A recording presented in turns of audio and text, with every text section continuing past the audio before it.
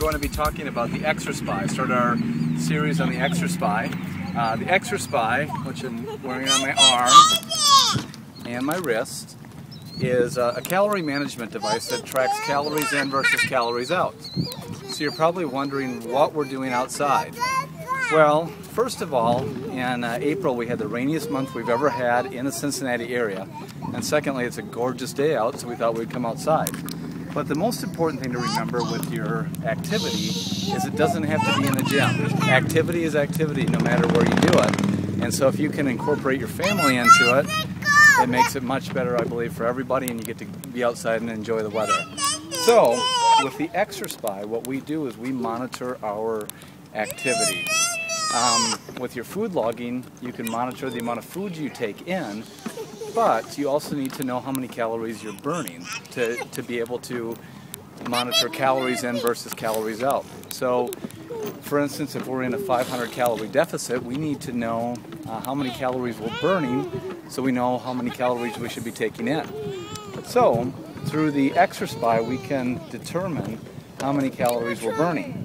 Um, from a goal perspective, we also adjust um, our goal for the number of steps taken. So the amount of cardio that we do is dependent on the total number of steps that we take.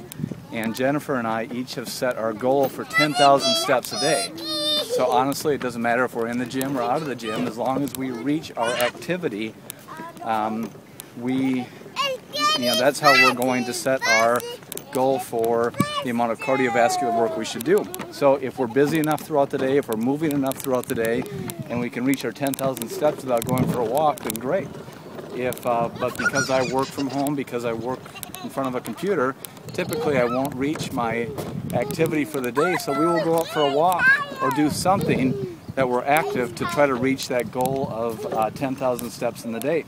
With our digital display that should be available soon through uh, DotFit, we can see up to the minute how many calories or how many calories we have burned throughout the day and how many steps we've taken. So the ExerSpy is a tremendous tool in addition to our logging that we do through the DotFit system to know how many um, steps and how many calories we burn throughout the day.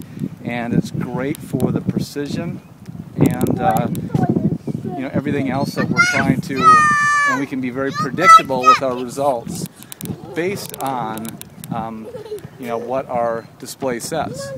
So, uh, just to reiterate once again, Jennifer and I each wear our ExerSpy, our digital display, and we have a goal in mind for the amount of calories that we burn so we have a calorie balance between calories in versus calories out and the number of steps. So we don't focus on X amount of minutes per cardio in the day.